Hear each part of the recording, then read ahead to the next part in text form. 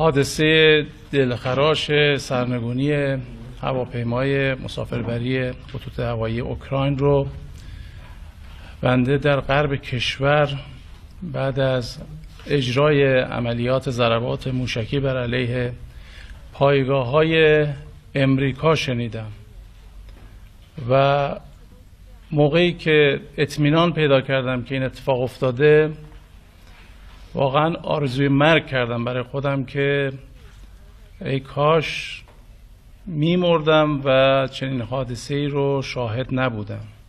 ما یک عمر خودمون رو پیشمرگ مردم کردیم و امروز هم آبرومون رو با خداوند متعال معامله می‌کنیم و در این شرایط سخت در مقابل دوربین ها ظاهر شدیم. که توضیح بدیم. من همین ابتدا هم عرض بکنم. اگه خبت و خطایی بوده یکی از عناصر ما خبت و خطا کرده.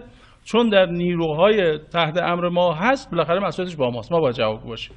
حالا در هواپیمای کشوری محکم رد می‌کردن اصابت موشک رو. اونا بر اساس دانستای خودشون عمل می‌کردن. من اعلام بکنم که اونها هیچ گناهی ندارن مقصر نیستن. هر چی تقصیر است به عهده ماست. اونا تقصیری ندارن. نه نیروهای مسلح بنای پنهانکاری داشتن نه سپاه می‌خواست این کارو بکنه.